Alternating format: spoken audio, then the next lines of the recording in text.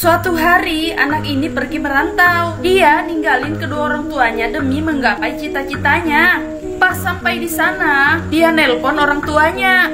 Kalau dia di sana udah berhasil dan sukses, orang tuanya pun ikut senang. Pas tiga tahun kemudian, dia telepon lagi. Kalau dia tuh di sana udah diangkat jadi manajer, pun ikut senang.